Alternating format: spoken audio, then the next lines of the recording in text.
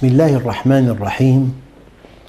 الحمد لله رب العالمين والصلاة والسلام على سيدنا محمد وعلى آل بيته الطيبين الطاهرين وعلى صحابته الغر الميامين أمناء دعوته وقادة ألويته وارض عنا وعنهم يا رب العالمين. إخوتي الكرام في سورية الحبيبة نتابع الحديث عن قوة المسلم. من أنواع هذه القوى الإصرار قوة. قال أحد الفلاسفة إن القرار الذي يتخذه الإنسان في شأن مصيره قلما تنقضه الأيام إذا كان صادرا حقا عن إرادة وإيمان. وروى لي عالم جليل أنه كان في صعيد مصر إنسان أمي في الخامسة والخمسين من عمره.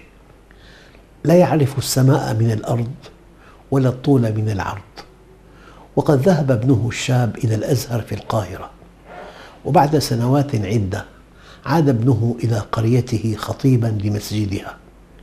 جلس أبوه في المسجد يستمع إلى خطبة ابنه وبدل أن يمتلئ قلبه فرحا بما وصل إليه ابنه من علم ودعوة امتلأ قلبه حزنا وحسرة على عمره الذي أمضاه في الجهل والغفلة واتخذ قرارا مصيريا وركب حمارته الهزيلة متجها بها من صعيد مصر إلى أزهر القاهرة واستغرقت الرحلة عشرات الأيام ولما وصل إلى القاهرة سأل أين الأزعر فقيل له أي أزعر إنه الأزهر.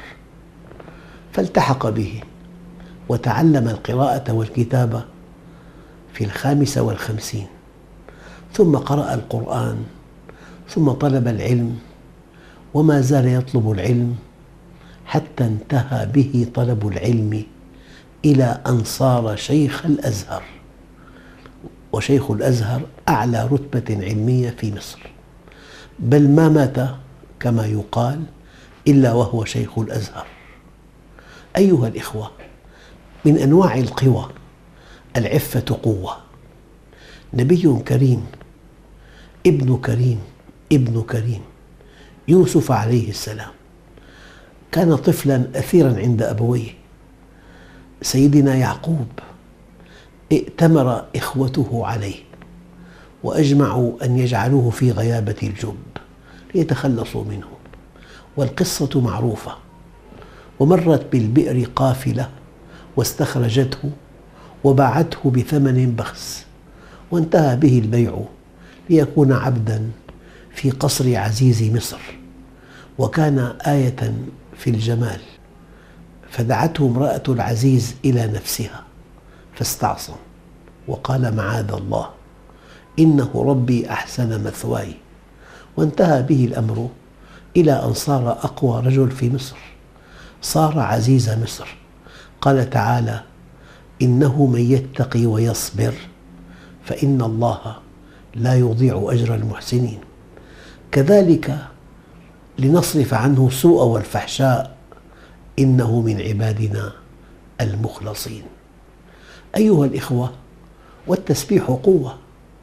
التسبيح قوة وسبيل إلى الفرج من دون حاجة إلى وسائط بشرية نتقوى بها. هذه القوة التسبيح تعينك على قضاء حوائجك. يقول الله تعالى عن يونس عن سيدنا يونس في أثر قوة التسبيح. فلولا أنه كان من المسبحين للبث في بطنه إلى يوم يبعثون. والاستغفار قوة. قال تعالى فقلت استغفروا ربكم إنه كان غفارا. يرسل السماء عليكم مدرارا ويمددكم بأموال وبنين ويجعل لكم جنات ويجعل لكم أنهارا. وفي حديث ابن عباس رضي الله عنه من أكثر الاستغفار جعل الله له من كل هم فرجا ومن كل ضيق مخرجا ورزقه من حيث لا يحتسب. التقوى قوة. قال تعالى ومن يتق الله يجعل له مخرجا ويرزقه من حيث لا يحتسب. ومن يتوكل على الله فهو حسبه. الاستقامة قوة. قال تعالى إن الذين قالوا ربنا الله ثم استقاموا. تتنزل عليهم الملائكة. ألا تخافوا ولا تحزنوا وأبشروا بالجنة التي كنتم توعدون. نحن أولياؤكم في الحياة الدنيا وفي الآخرة. ولكم فيها ما تشتهي أنفسكم ولكم فيها ما تدعون. نزلا من غفور رحيم. ومجمل القول. الشرف كل الشرف. ليس في الدول ولا في القصور ولا في الأموال ولا في الأولاد ولا في الهيئات ولا في الذوات. الشرف كل الشرف أن تكون عبدا لرب الأرض والسماوات. الشرف أن تكون وليا من أولياء الله الصالحين الذين يعملون الصالحات ويجتنبون المحرمات ولا خوف عليهم ولا هم يحزنون. وأخيرا أيها الإخوة الإيمان قوة مطلقة. ماشطة بنت فرعون هي تلك المرأة الصالحة التي كانت تعمل في قصر فرعون تمشط بناته وتنفق على أولادها الخمسة.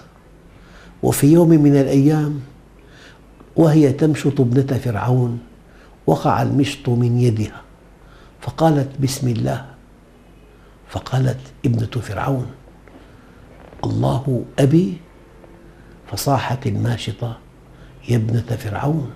كلا بل الله ربي وربك ورب أبيك. فتعجبت البنت أن تعبد ماشطتها غير أبيها فأخبرته. فعجب فرعون أن يوجد في قصره من يعبد غيره فدعا بها وقال لها من ربك؟ فقالت ربي وربك الله. فاشتعل غيظا وأمر بقدر من نحاس مملوء بالزيت المغلي وأوقفها أمام القدر. فلما رأت العذاب أيقنت أنما هي نفس واحدة تخرج وتلقى الله تعالى. وعلم فرعون أن لها أولادا خمسة أيتاما. وهي تكدح لهم لتطعمهم. فأراد أن يزيد من عذابها فأمر بإحضار أطفالها الخمسة. فلما رأوا أمهم تعلقوا بها وهم يبكون فانكبت عليهم تقبلهم وتبكي. وأخذت أصارهم وكان رضيعا وضمته إلى صدرها وألقمته ثديها. فلما رأى فرعون المنظر سأل أمهم ألك رب غيري؟ قالت الله ربي وربك. فأمر برمي أكبرهم في القدر.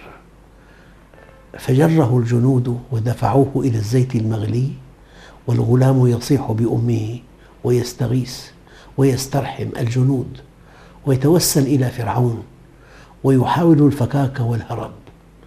وينادي إخوته الصغار ويضرب الجنود بيديه الصغيرتين وهم يصفعونه ويدفعونه وأمه تنظر إليه وتودعه فما هي إلا لحظات حتى ألقي الصغير في الزيت المغلي والأم تبكي وإخوته يغطون أعينهم بأيديهم الصغيرة حتى ذاب لحمه من على جسده النحيل وطفت عظامه البيضاء فوق الزيت فنظر إليها فرعون وقال لها ألك رب غيري؟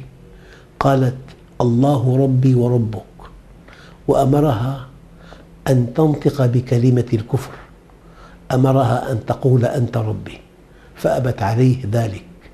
فغضب فرعون وأمر بولدها الثاني. فسحب من عند أمه وهو يبكي ويستغيث وألقي في القدر. فما هي إلا لحظات حتى طفت عظامه البيضاء. واختلطت بعظام أخيه. والأم ثابتة على دينها موقنة بلقاء ربها. ثم قال لها ألك رب غيري؟ قالت الله ربي وربك. ثم أمر فرعون بالولد الثالث فسحب وفعل به ما فعل بأخويه. والأم ثابتة على دينها. فأمر فرعون أن يطرح الرابع في الزيت فأقبل الجنود إليه وكان صغيرا يتعلق بثوب أمه فلما جذبه الجنود بكى وألقي في الزيت رحل عنها إلى الدار الآخرة وهي تبكي لفراقه إذ طالما ضمته إلى صدرها وأرضعته من ثديها وطالما سهرت لسهره وبكت لبكائه بقي الرضيع الذي يلتقم ثديها. فجاهدت الأم نفسها أن تتجلد وتتماسك وهنا سألها فرعون ألك رب غيري؟ فسكتت. فسكتت وتضعضعت. وهنا حدثت المعجزة التي أخبر عنها النبي صلى الله عليه وسلم. لقد أنطق الله هذا الرضيع فقال اثبتي يا أمي أنت على الحق. فقالت لفرعون الله ربي وربك. وذهب الأولاد الخمسة وبعد قليل سوف تكون معهم.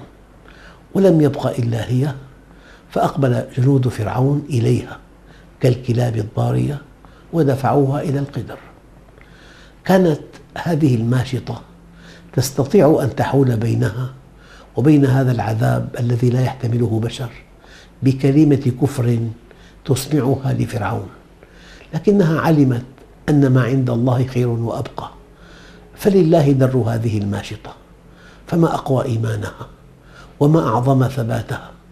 وحينما لا يملك الإنسان سلاحا يحمي به نفسه أو يواجه به عدوه ويثبت على مبدئه ولا يتضعضع أمام الطغاة يكون قد انتصر انتصارا مبدئيا يقطف ثماره في اليوم الآخر. ولقد رأى النبي صلى الله عليه وسلم ليلة الإسراء شيئا من نعيم هذه الماشطة فحدث أصحابه به وقال لما أسري بي مررت برائحة طيبة لم أشم مثلها قط.